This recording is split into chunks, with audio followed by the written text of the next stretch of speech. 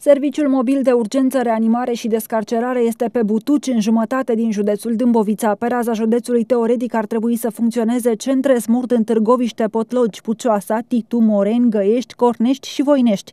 La această oră, din totalul de 9 ambulanțe smurt, doar 6 autospeciale funcționează, acestea fiind gata de intervenție doar în centrele Cornești, Voinești și Pucioasa. În restul județului, autospecialele sunt trase pe dreapta, după cum urmează.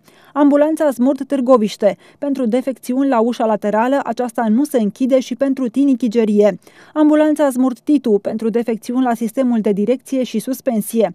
Ambulanța Smurt Moreni pentru defecțiuni la sistemul de direcție, suspensie și transmisie. Ambulanța Smurt Găiești pentru defecțiuni la sistemul de direcție și motor. Ambulanța Smurt Potlogi pentru defecțiuni la sistemul de răcire a motorului.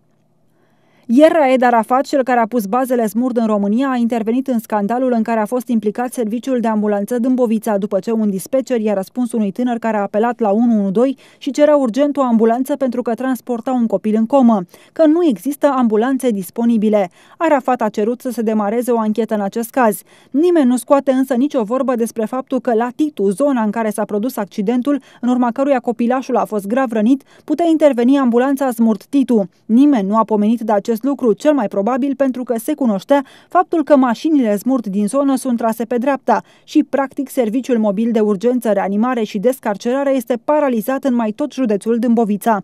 În stația de ambulanță Titu sunt două autospeciale de intervenție vechi. Una are 820.000 de kilometri, iar cealaltă 500.000. De regulă, cele două ambulanțe primesc sprijinul ambulanței smurt de la Titu, însă doar când aceasta nu este stricată.